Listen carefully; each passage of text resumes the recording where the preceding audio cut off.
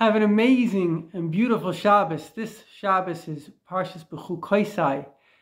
The story of life is that we don't understand it.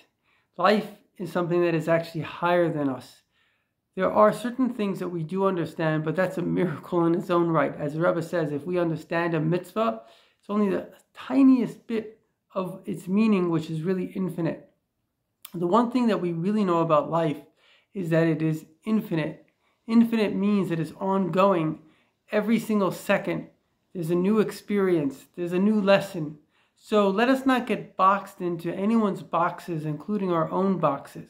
Let us always open the box and come out and be ready for something new, something amazing that God can teach us because every minute there's a new lesson. And may we be this Shabbos with the Rebbe, with Mashiach, with all the tzaddikim, with all the Jews that gave their lives for being Jewish, and may this occur immediately. Let us all really dedicate ourselves to extra Torah, extra mitzvahs. We see in the world today the contrast.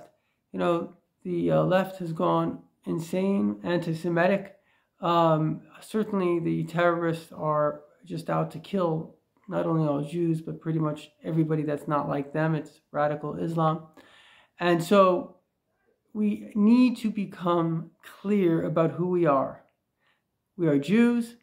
If a person is a Gentile, it's also a child of God, also commanded by God. We are servants of God. We're here to make the world a better place. We know the boundaries. We know what's right. We know what's wrong. Hashem tells us, the Torah tells us, and this is our constitution. As long as we have that clarity, we're going to bring Mashiach because everything outside of us comes from everything inside of us. And when the inside is correct, we can't get distracted. We're in a place of truth and not capable of allowing silly stupidities and distractions to overwhelm us and overtake us and lust, etc., then we will have brought Mashiach within ourselves and will manifest it to the world. So please, the building is behind us.